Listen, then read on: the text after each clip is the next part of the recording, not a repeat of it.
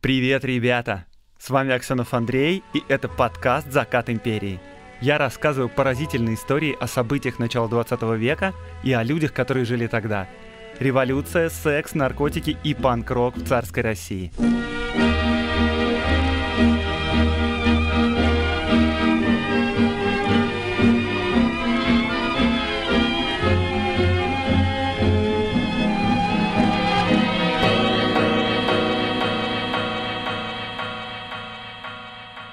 Сегодня, как обычно, под конец сезона специальный выпуск. Да, сезон заканчивается. Через неделю будет стрим на Ютубе, призываю вас туда присоединяться. Но сразу же после Нового года начнется новый сезон, так что ничего страшного, перерыва не будет. Так вот, у меня сегодня в гостях историк Алексей Ильич Миллер – и будет сложная, болезненная, очень интересная тема. Будем говорить о том, что такое нация, какие были особенности национальной политики в Российской империи. Но перед началом я вам хочу рассказать о подкасте, в который недавно сходил в гости.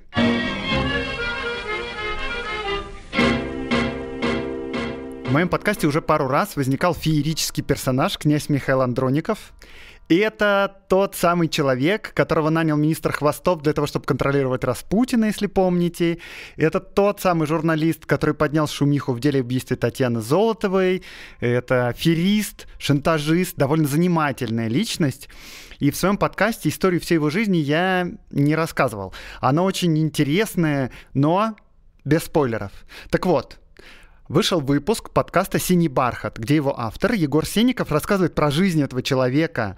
А в самом конце выпуска мы вместе с Егором обсуждаем личность этого афериста. Говорим о том, как вообще так вышло на закате империи, что подобного рода личности смогли влиять на политику и на царя. Ну и вообще порассуждаем о судьбах страны, роли личности в истории, о том, могла бы история пойти иначе. Получилось интересно, но вообще я вам крайне рекомендую этот подкаст. И могу сказать, не кривя душой, что, пожалуй, это мой самый любимый подкаст. И когда я год назад планировал свой, я ориентировался на два примера. Это как раз на «Синий бархат» и на «Искусство для пацанчиков». И вот Егор Синников рассказывает просто поразительные истории из всего 20 века.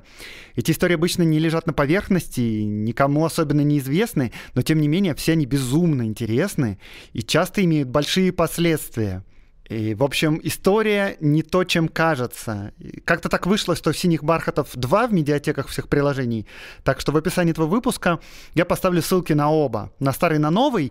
И новый регулярно обновляется. Не пропустите его, он того заслуживает.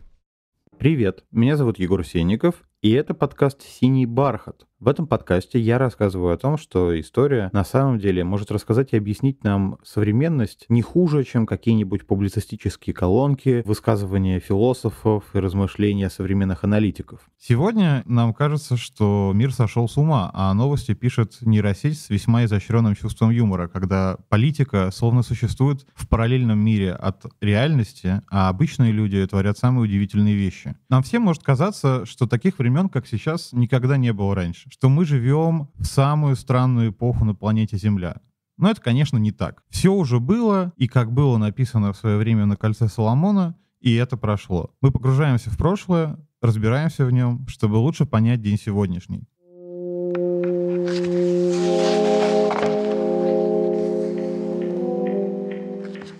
Здравствуйте.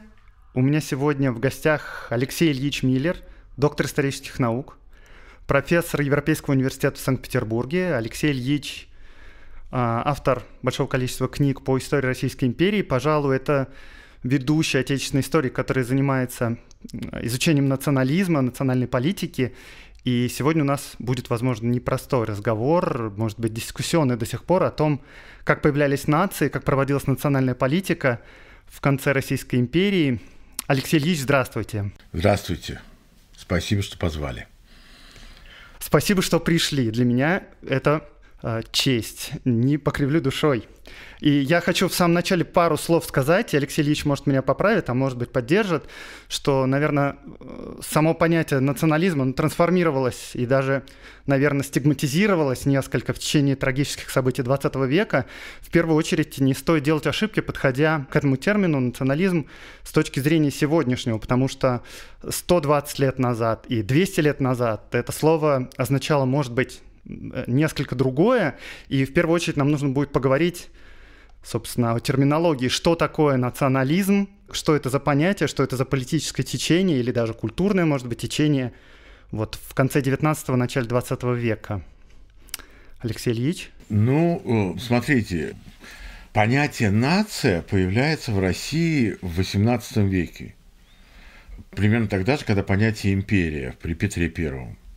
И оно обозначало суверенное государство, поэтому как бы нация и империя были одно и то же, получалось. Кроме того, в XVIII веке понятие «нация» обозначало корпорацию дворянства. То есть была польская нация, которая состояла из польской шляхты. Или там была нация хунгарика, так называлась по латыни.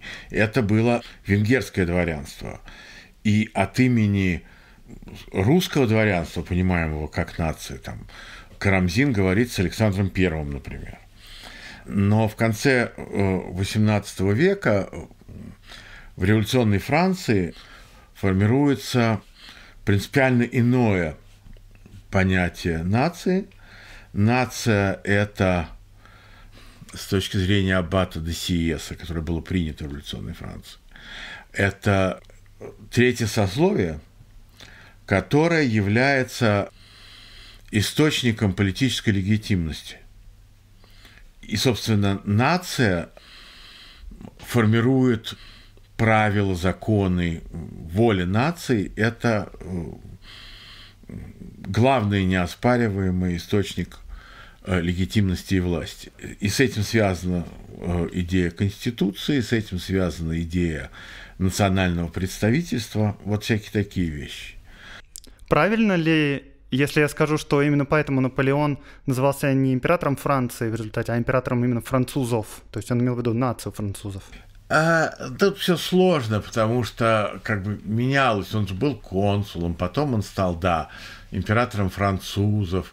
Он все-таки хотел быть императором Европы объединенной. Он мог вполне это поменять. Но да, конечно, Наполеон все эти вещи, о которых мы говорим, э, хорошо понимал. Не случайно именно при нем все исторические названия регионов Франции были э, упразднены и возникли вот эти вот, которые мы сегодня знаем по винным бутылкам. Кот Дюрон, например, Буш Дюрон, это все вот такие формальные названия, да? И это было не случайно, то есть это была попытка борьбы, достаточно успешной в конечном счете, с локальными идентичностями. Вообще надо понимать, что слово «нация», э, оно практически во всех э, европейских языках воспринимается все-таки немножко как иностранное. Интересно.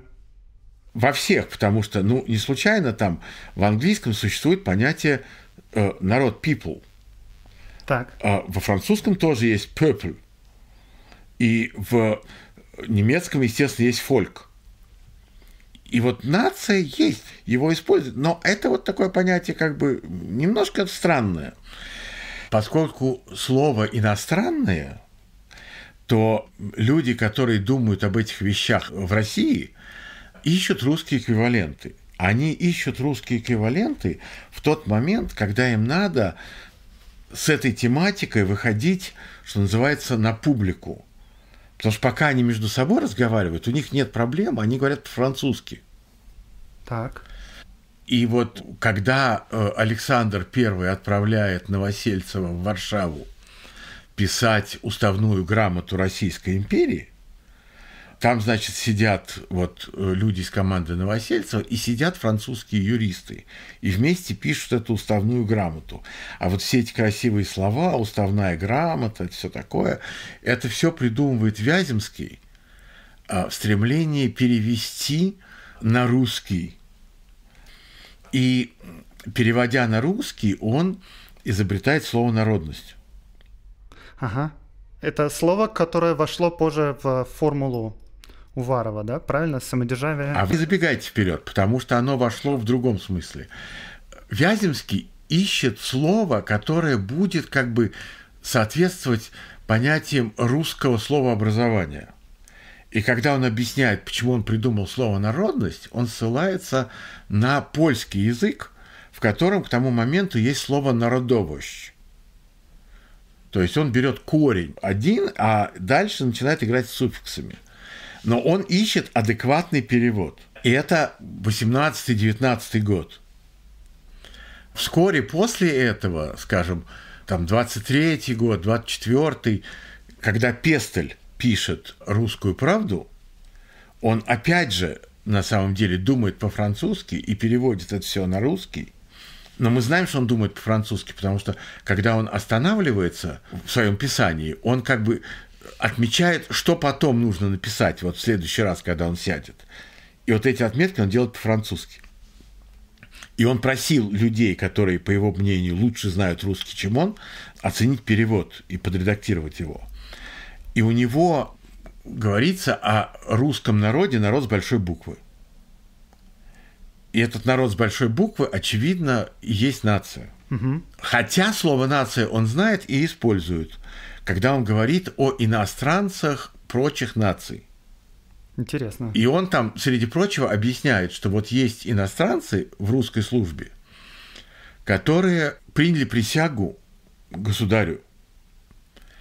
И когда мы победим, а в понимании Пестеля это значит, убьем государя и все его семейство, это только большевики потом удалось. Но идея была заложена тогда. Все эти иностранцы должны будут заново принять присягу на верность России – и вот это очевидный переход от представления о э, как бы монархической принадлежности, монархической природе государства. Да, вот монарх, у него власть от Бога. Угу. Тут оказывается, что происходит перенос легитимности на понятие нация. Значит, Пестель обсуждает прямо в тексте «Русской правды» конфликт двух принципов. Он говорит о том, что есть принцип как бы самостановления, то есть принцип, по которому различные народности решают свою судьбу. А есть принцип благоудобства. И он вот говорит о том, что этот принцип самоуправления, он может применяться только в тех случаях, когда эта э, потенциальная нация достаточно сильна для того, чтобы сама защищать свои интересы. Он в рамках Российской империи видит только одну такую э, поляков. А все остальные, исходя из принципа благоудобства, должны слиться в один русский народ. И он там говорит о том, что и вот все эти разные названия, которые мы используем для э, обозначения русских – что там есть и малоросы, и белорусы, вот это все. Это все должно быть упразднено. Вот как Наполеон упраздняет все эти исторические особенности, все французы, да? Да. И здесь все русские. Это вот идеи Пестеля. Но при этом они же сочетаются с идеей, что царя надо убить и республику установить. Значит, когда декабристы потерпели поражение, и когда вскоре после этого потерпело поражение польское восстание 1830-31 года. Да. А это же восстание переходит в вооруженную фазу, в фазу вооруженной борьбы с Российской империей, тот момент, когда от имени польской нации Сейм дотронизирует э, Николая Первого. То есть они пытаются э, провести легитимность польской нации. Да для правления страной да, да. своей. И вот тот самый Николай, который продолжает уважать их конституцию, которую им дал Александр, и который потрудился доехать до Варшавы и короноваться польской короной, угу. вот они его детронизировали. Ну и в этот момент Николай дал приказ, что уже пора наступать и заканчивать все это безобразие. А во-вторых, Николай как бы заканчивает вот с этой идеей, что нам надо каким-то образом приспособить Россию к новым временам, потому что Александр I начинает, когда он еще не Александр I, а только наследник престола, он начинает с рассуждения о том, что вот когда он станет царем, он передаст всю власть нации, а сам там займется да. какими-нибудь полезными делами. Потом, когда вот он пишет эту уставную грамоту, там уже он даст нации определенные права, то есть он сохраняет за собой как бы вот эту роль источника права. Потом начинаются разговоры о том, что как бы Конституция вообще-то это хорошая вещь, но не сегодня. Что вот как бы обстоятельства не очень располагают, будем годить. И вот это «будем годить» продолжается до начала 30-х годов, когда приходит Уваров, как министр просвещения и главный идеолог Николая I, который, собственно, от этой формулы, что надо погодить, а вообще Конституция – дело хорошее, формулирует другую позицию, что Конституция может быть для кого-то и хороша, а для России, безусловно, вредна, потому что все эти реформы приведут к тому, что империя обрушится – само понятие нации э, цензура с тех пор начинают рубить и рубят интенсивно вплоть до середины 50-х годов. Значит, с начала 30-х до середины 50-х, да, то есть примерно четверть века. Да. Вот Белинский, он пытался писать о нации, но всякий раз, когда он употреблял это слово, или почти всякий раз, ему цензура не пускала статью или вырубала этот абзац.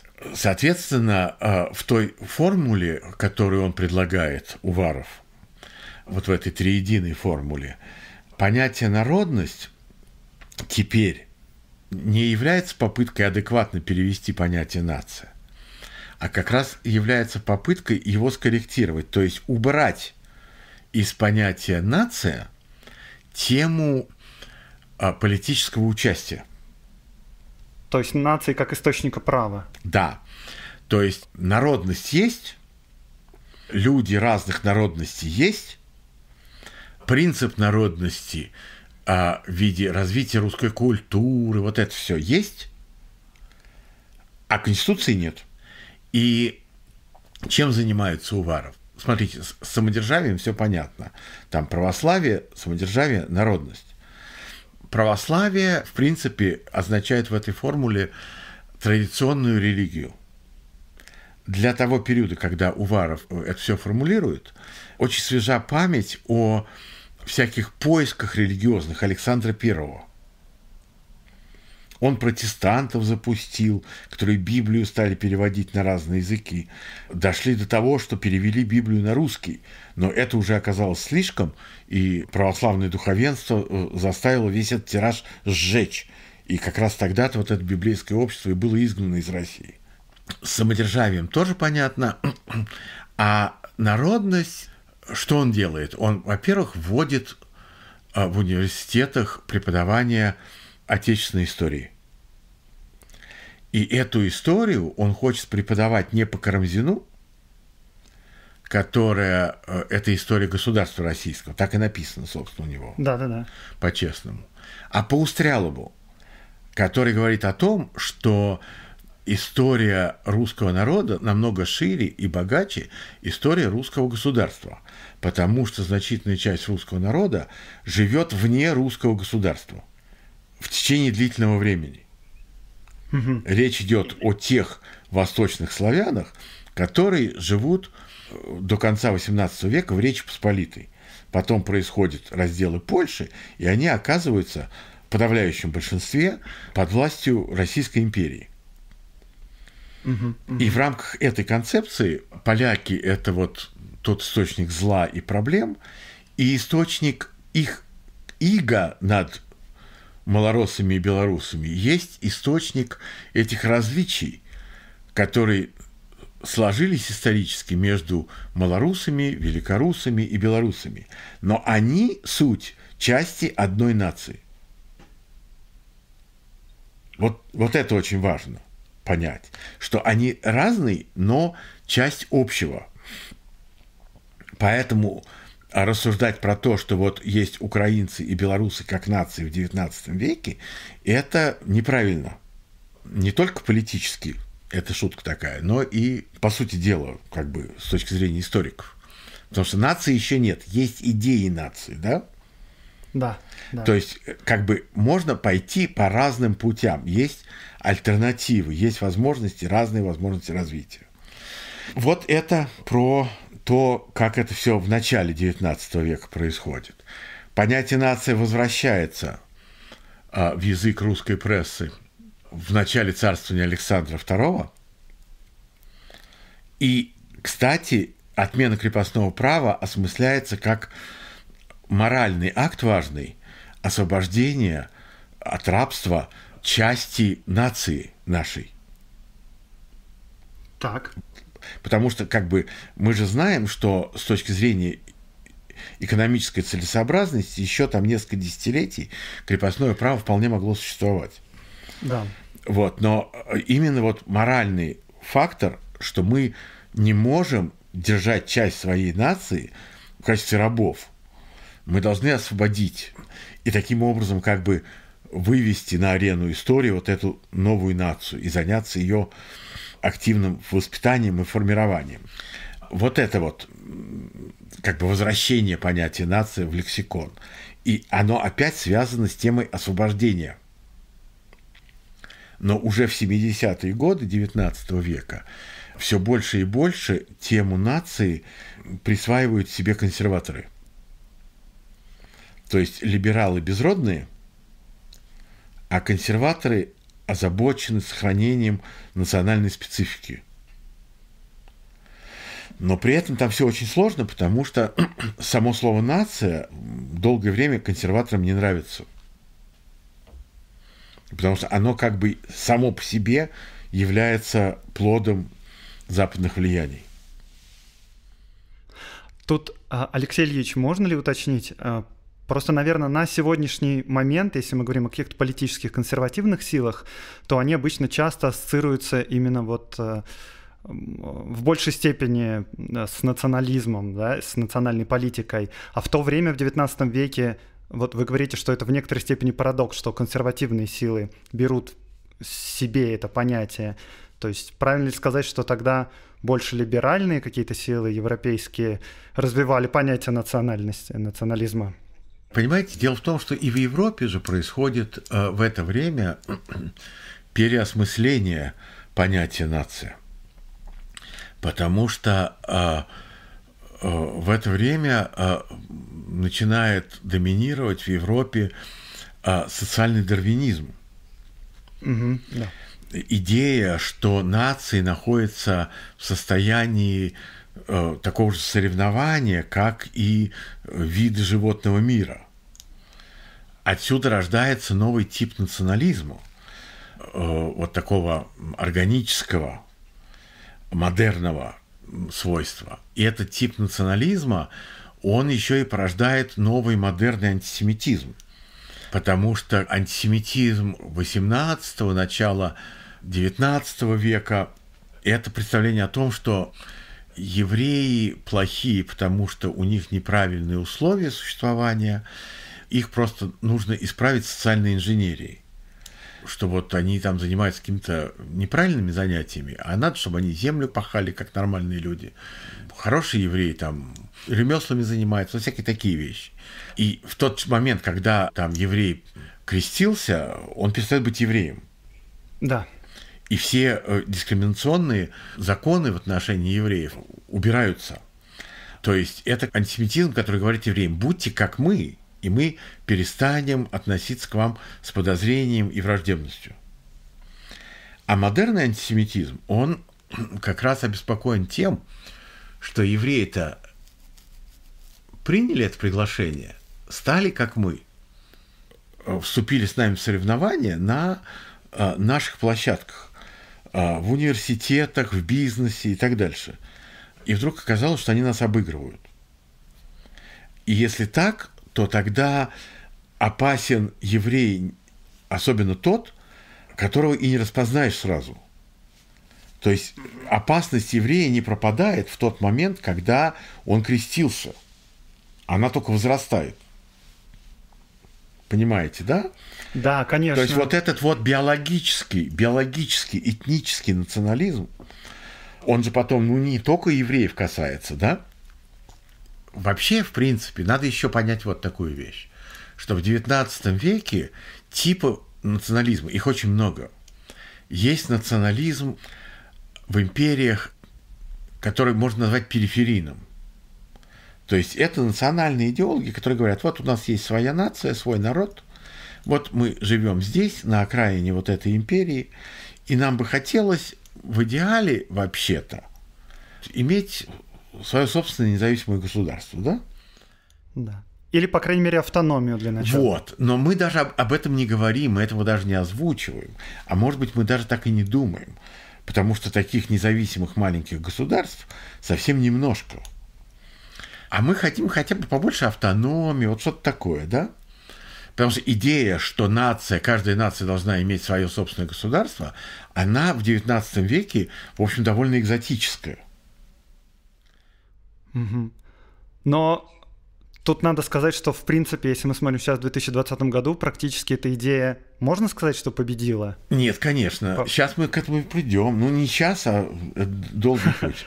А, значит, но при этом существует ведь и другой национализм – можно сказать, национализм имперских наций.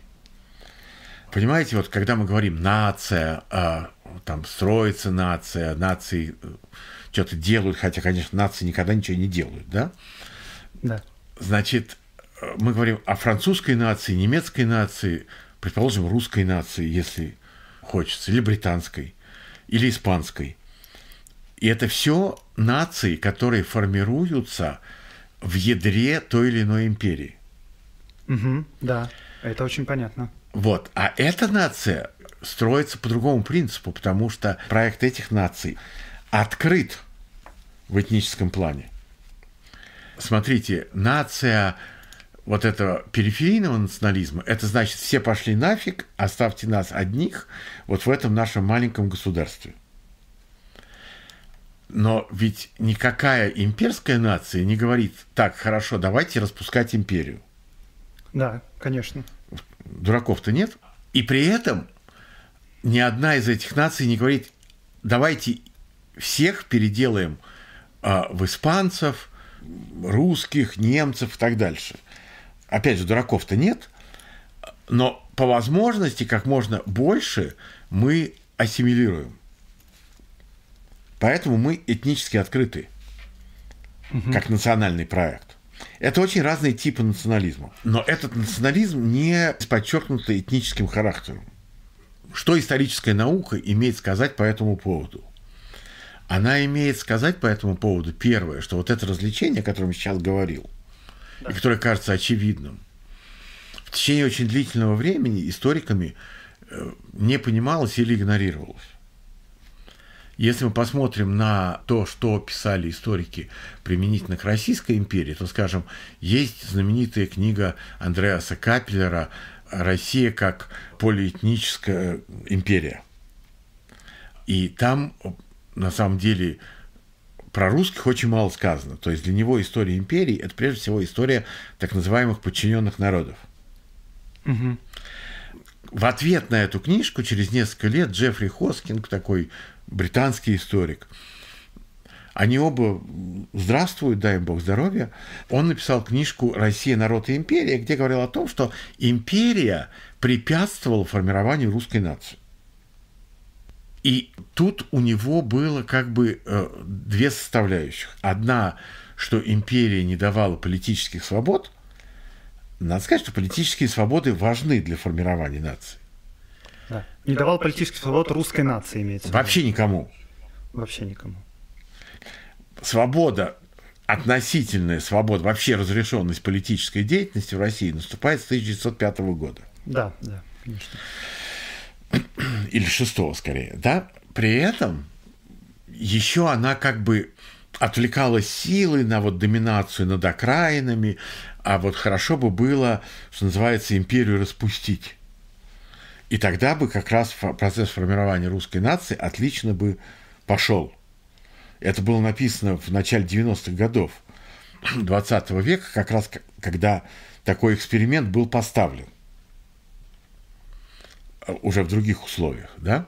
Да, да. Вот. Но сейчас появился целый ряд работ, э, который все-таки оценивает это формирование нации в ядре империи по-другому что это действительно особый тип, а, особые механизмы. И плюс к тому, как бы э, историки вскрыли все эти мифы, связанные с формированием наций.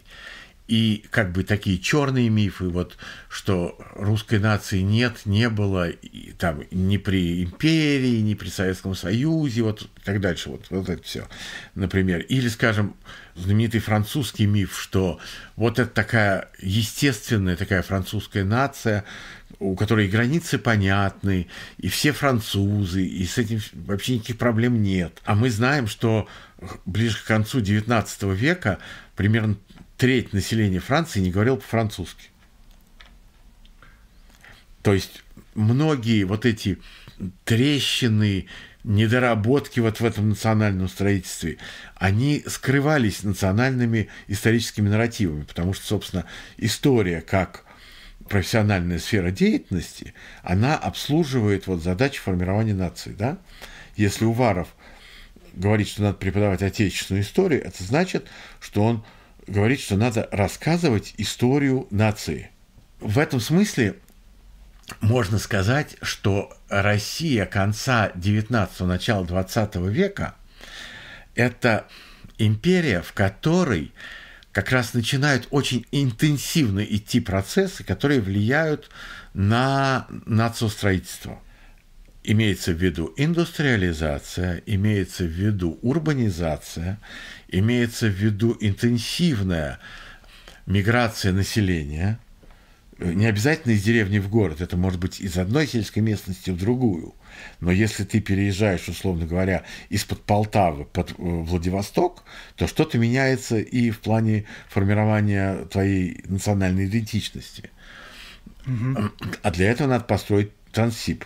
И грамотность, у нас же есть миф, что ликвидация неграмотности – это заслуга да. большевиков, да? Ну да, да, да, это известный миф. Да. Ну вот, соответственно, мы видим в Российской империи начала 20 века массу процессов, которые должны были очень существенно повлиять и на интенсивность, и на как бы саму структуру формирования вот этого большого имперского русского национального проекта. Он находится в конкурентной среде, понятно, это более сложно. Но тут важно, что у нас эти процессы начинают активно действовать с лагом во времени небольшим по отношению угу. к Франции. Например. А Франция рассматривается как образец, при том, что на самом деле она должна рассматриваться как исключение из правил. Мы как бы все время нацию рассматриваем как образец нациостроительства, но никто другой угу. не добился таких результатов, как французы. И причин тут много.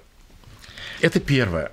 Второе, если мы спросим, когда во Франции разрешили преподавание патуа, то есть всяких местных языков, не французских в школе, то выяснится, что это случилось после Второй мировой войны. Почему это важно? Потому что вот пока французы занимались строительством своей нации и в первой половине 20 века, в России произошел крах империи Романовых. И то, что возникло на месте империи Романовых, вот этот новый имперский проект Советский Союз, да. он был построен по принципиально другим принципам. Да и где как раз преподавание национальных языков в школе это был один из приоритетов. Ну и много других таких вещей. Коренизация это все называется, да? Да, да, да. Произошла институционализация и территориализация этничности, да? То есть вся территория Советского Союза – это э, всякие автономные образования, советские республики, советские автономные республики, советские округа, Э, всякие даже колхозы национальные были. Терри Мартин посчитал, что на пике это было больше 10 тысяч таких образований. То есть э, каждая из этих территорий имела свой национальный окрас. Вот это территориализация этничности, институционализация этничности. Появились паспорта, а в этих паспортах появился пятый пункт – Графа национальность. Ну да, ведь э, вот просто вот мы говорим в советской власти, там проблемы с пятым пунктом. Все понимали, о чем идет речь. Но вот что такое пятый пункт? Да, там же идет все по значимости. Первое – фамилия, второе – имя, третье – отчество, четвертое – год рождения, и сразу за ним – национальность.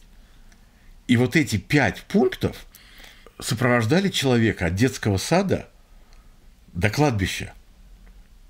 И они были везде, да, то есть вы без этого вообще не функционировали в советском обществе. Даже э, в самом конце этого советского общества.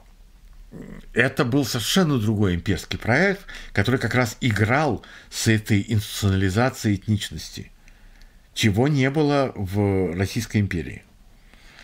И поэтому оценить, как развивались процессы нациостроительства а, в начале 20 века в России, очень сложно сейчас вот буквально на будущей неделе выходит из печати книжка, которая называется «Россия между реформами и революциями 1906-1916». Я вложил в нее очень много труда. Это такая коллективная монография, которая пытается оценить те тенденции развития Российской империи, которые а, были пресечены революцией, да, потому что что такое революция? Мы там вышибли ногой какую-то дверь и вот вышли из той ситуации, которая у нас была, в какую-то принципиально новую ситуацию. Но это значит, что все те двери еще дополнительные, которые были в этой комнате, они закрылись, они вообще не актуальны. Мы в другое помещение ушли. Да? В этом смысле очевидно, что оценить вот эти тенденции очень важно, а это же все очень идеологизировано. Весь советский нарратив – это про то, какая была отсталая страна. До революции. Да. Все национальные нарративы, они про то, как всем было плохо в Российской империи, и как все э, просто рвали рубаху на себе для того, чтобы оттуда вырваться – и масса всяких других таких вещей. И что самое важное, мы очень мало знаем о том времени. Даже вот, скажем, оценки уровня экономического развития России того времени подлежат очень серьезному пересмотру. У нас там есть статьи, которые показывают, что фактически можно сказать, что вот Россия накануне Первой мировой войны, она была Э, в некотором смысле на первой стадии того, что принято называть экономическим чудом, да? У нас между, там, условно говоря, шестым и тринадцатым годом э, средний рост, средний рост промышленный составляет 6% в год. Вот прикиньте, это китайские темпы роста, да? А при этом надо учесть, что когда мы там смотрим на советские темпы роста, мы понимаем, что это восстановительный рост. Да. Потому что в момент, когда начинается советская власть, от экономического потенциала Российской империи осталось 13%. И, естественно, там можно расти и по 30% в год, если просто восстанавливать потенциал. Не все же было разрушено физически. Ну да, конечно, конечно. А там это был рост от нормальной базы. При этом огромное количество дешевой рабочей силы – бабы-то рожали, и при этом еще, что очень важно, сельская жизнь, она тоже трансформируется радикально в результате реформ Столыпина. Это же не только да. переселение в Сибирь. Вот это все вместе. Ну, в общем, конечно, да. я эту книжку в ближайшей перспективе выложу в сеть. Там просто, ну, действительно собрались, с моей точки зрения, э, лучшие силы, которые при этом, как сказать, а, не увлекаются рассказом о том, какая идеальная была Российская империя в 13 году. У нас есть Борис Миронов, который примерно так рассказывает. Конечно, там не, далеко не все было идеально, да? Кстати, вот другой пример. Из 20 крупнейших европейских банков 6 русских. Сегодня ни одного, по-моему, понять разницу. Это все надо как бы заново увидеть, есть знаменитая история с книжкой Кофенгауза. Весь период советской власти наши экономические историки э, оперировали каким-то набором цифр, которые, в общем, были получены из э, дореволюционной статистики. Понимаете? Угу, да. Вот. А Кофенгаус, э, он в 20-е годы поднял новые, как бы более широкие пласты статистики и получил совсем другие цифры. Но потом его тут же посадили – А книжку, слава богу, не уничтожили, рукопись осталась. И вместо того, чтобы выйти там, условно говоря, в 30 каком-то, она вышла в 94-м. И выход этой книжки поменял все наши представления. А при этом выясняется, что и Кофенгауза надо поправлять в сторону большую, да? И там еще очень важный момент, конечно, что у Российской империи был накоплен колоссальный научный, инженерный, инновационный потенциал. А это очень важная составляющая роста и лидерства. То есть вот если мы пытаемся оценить, когда у России был шанс стать как бы страной первого мира, вот этой лидирующей, то вот это было тогда. Мы этот шанс сожгли в гражданской войне и революции, больше такого шанса у нас не будет. Вот это важно понимать. Алексей Ильич, а вы сказали, что эта книга будет доступна в интернете для скачивания? Э, да, я ее выложу. Она выходит сравнительно небольшим тиражом, там, ну, я не знаю, экземпляров 500, наверное, мы напечатали. Это все разойдется моментально, и в течение пары месяцев я положу это в сеть. Ну, потому что это такая книжка, которую все-таки должны люди читать прежде всего. А, я для слушателей сейчас скажу, что в любом случае в описании этого выпуска, когда он выйдет, уже эта книга должна, по идее, появиться. И тогда я положу ссылку на ее название – и если она, если она выйдет, э, когда она выйдет, будет доступна, может, в общем доступе, тогда тоже она появится. Так что следите Хорошо. за соцсетями. Да, э, вопрос, по которому у вас есть даже ряд статей, ряд выступлений, э, касающихся украинской нации, довольно тоже болезненный в последние годы. И этот сложный, тоже объемный вопрос, и не знаю, как вот к нему лучше подойти, но в максимально общем э, смысле он звучит так, когда вообще можно говорить о появлении украинской нации, как это происходило, и белорусской, возможно, тоже. И какое влияние, может быть, эти процессы оказывали на как бы самоидентификацию тоже вот э, на русские национальные проекты, которые тоже, тоже может, были где-то в конце XIX века. Давайте все-таки говорить о идентичности и государственности, потому что нация все-таки это категория политической жизни, да, мы все время апеллируем mm-hmm. к национальным интересам, а как аналитическая категория для историков, она не очень полезна. Она больше вопросов вызывает, чем помогает. Но, скажем, движение, которое пытается вообразить себе Украину э, независимую, возникает в середине XIX века. Это Кирилл Мефодиевское общество. Все предыдущие рассуждения, всякие истории русов и так дальше, это традиционный региональный вот такой э, нарратив. Нарратив, да. Что бы там ни писали э, люди, которые сейчас этим занимаются. Собственно, называть себя украинцами, активисты этого движения, стали с конца XIX века. На момент, вот, о котором мы говорим, когда разрешили политическую деятельность, то есть после революции 1905 года. Это была очень удачная революция в том смысле, что она не разрушила государство. В России была одна такая революция удачная. Это 1905 года, когда она много чего изменила, но государство не разрушило. Потому что февральская революция, она на самом деле уже разрушила государство. Да. И с тех пор и покатилась. Что здесь важно? Что есть украинская идентичность, безусловно, есть украинское движение, но это движение чувствует себя проигрывающим соревнование с вот этим общерусским. Важный момент, да, потому что это в самой среде того, что мы сегодня называем украинцы, да, потому что уроженец Полтавы Анатолий Савенко, он по нынешней нашей номенклатуре украинец а по жизни он лидер киевского клуба русских националистов. И вот таких фигур очень много. То есть есть активисты русского националистического движения, украинского националистического движения, а между ними болтается огромное число людей, образованных, которые э, как бы, ну, и тот, и другой проект кажется им немножко радикальными. Все меняется существенно с Первой мировой войной и революцией, потому что там начинают работать факторы, которые резко меняют вообще всю структуру момента. Потому что когда империи сталкиваются между собой в войне, которая не как прежние войны, а месяца три повоевали, потом сели за стол и договорились, кому чего по результатам.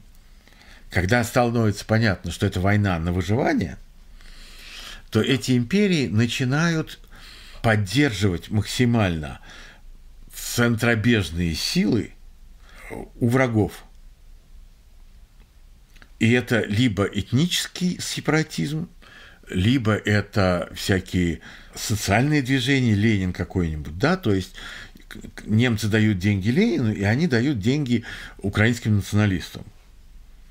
А в Российской империи, соответственно, есть Чехословацкий корпус, да, например? А, это который стал процесс, плодом правильно? такой же политики в России, когда в лагерях для военнопленных людей обучают в Германии, что они украинцы, а здесь людей обучают тому, что они чехи, славяне, заодно с Россией и против немцев.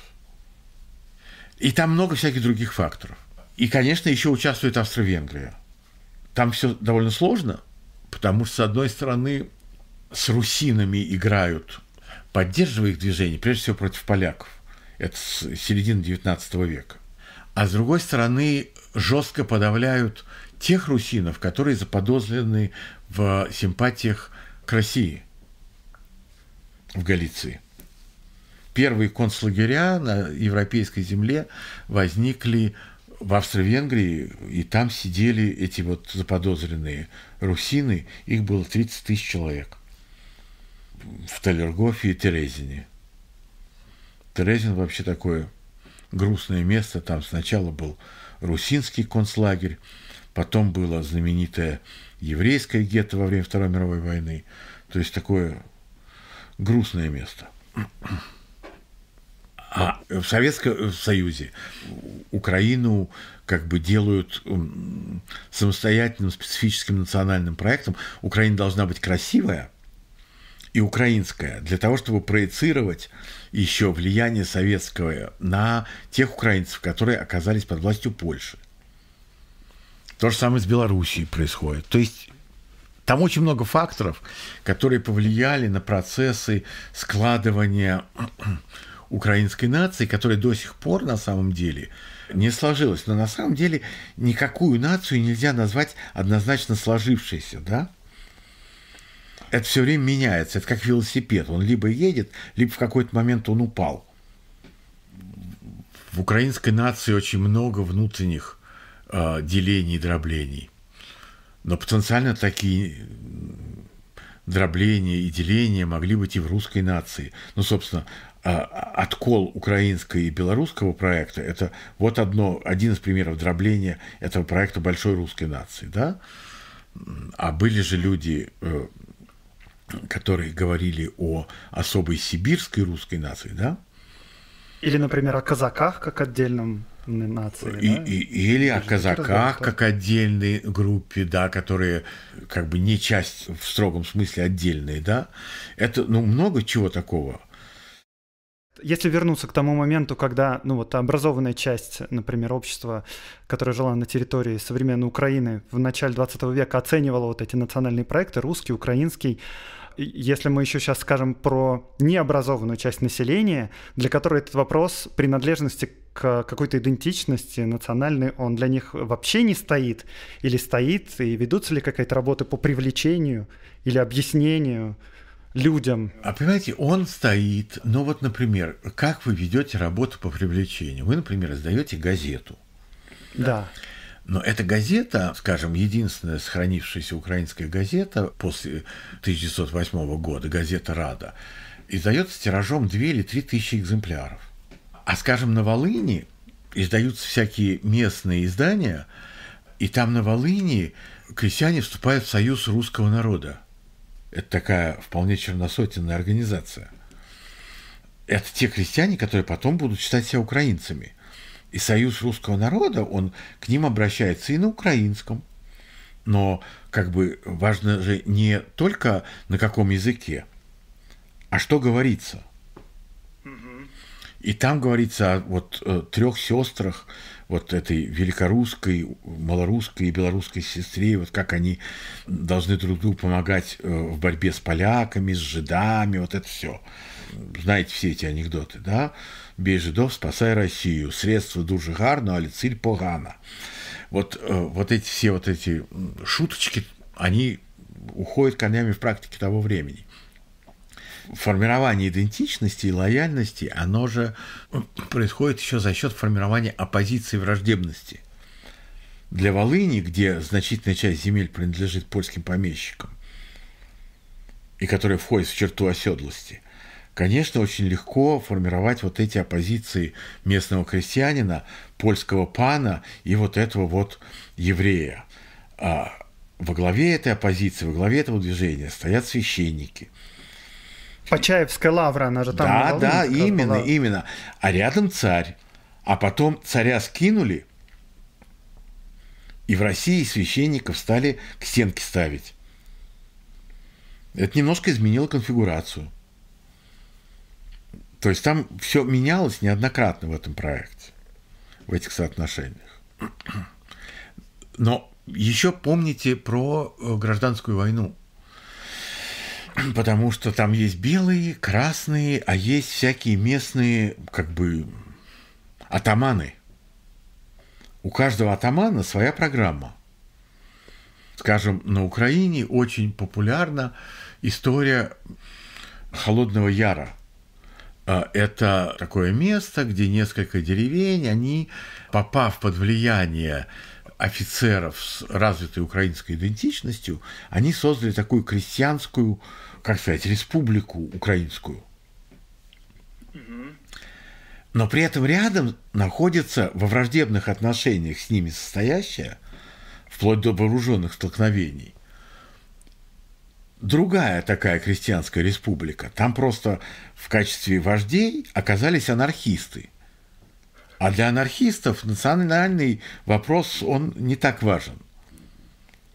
Материальчик-то один и тот же, вот местный крестьянин но в одном случае из него можно сделать национального борца, а в другом случае как бы индифферентного к этой теме анархиста.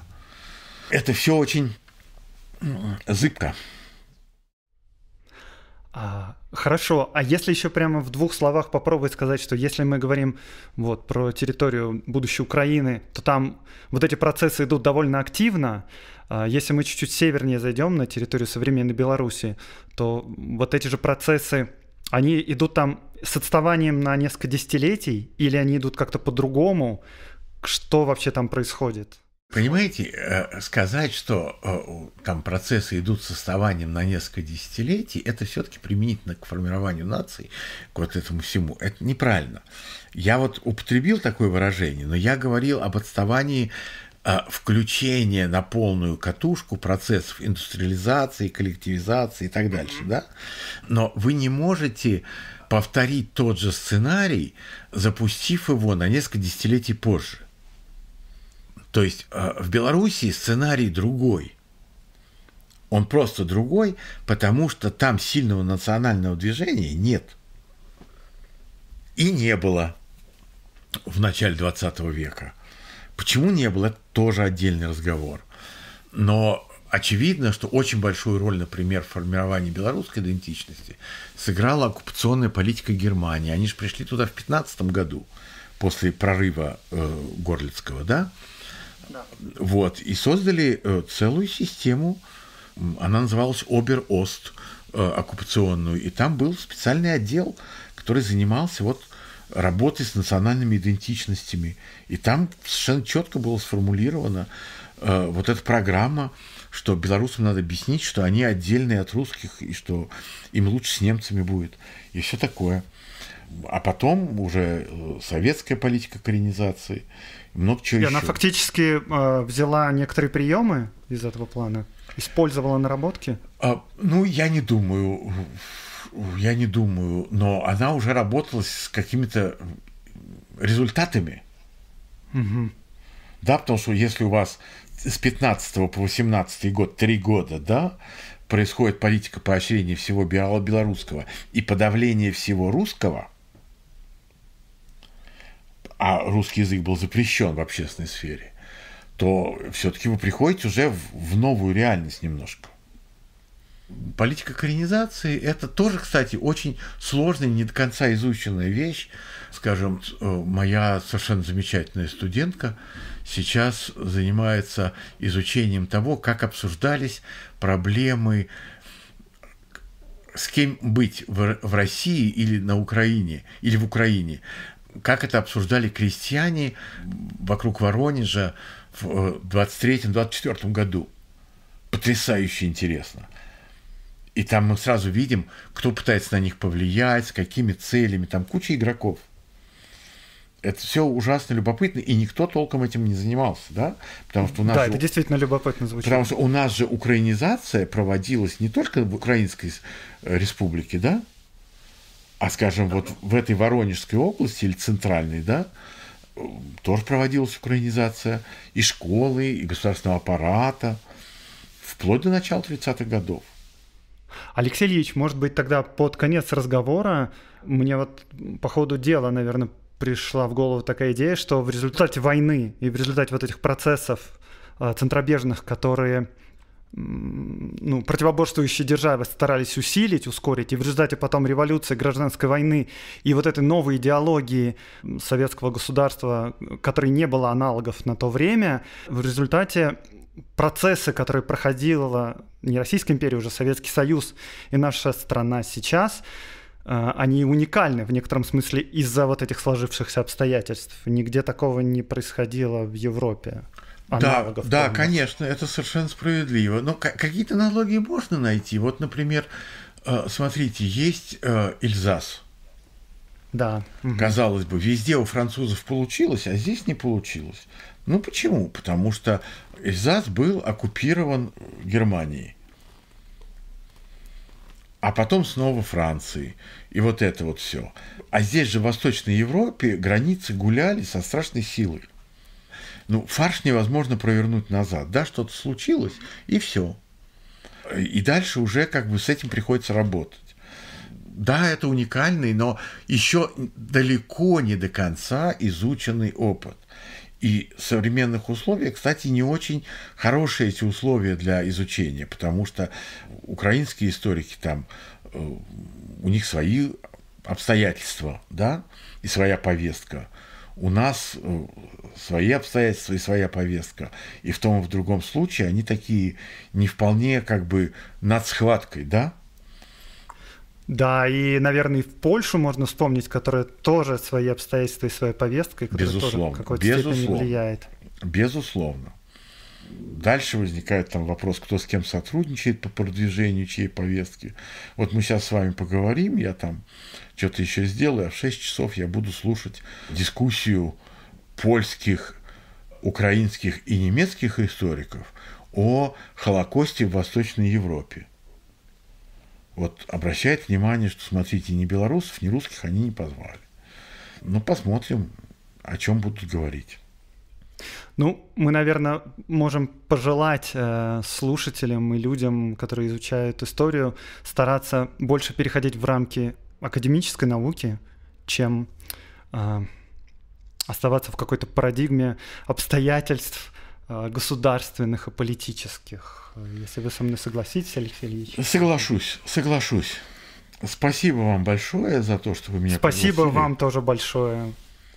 Хорошо. Ну, до свидания. До свидания.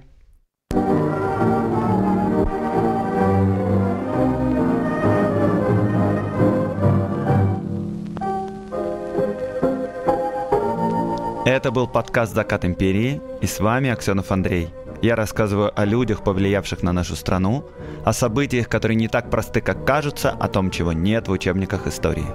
Лайк, репост, подписывайтесь на мой канал. До новых встреч в новых выпусках подкаста.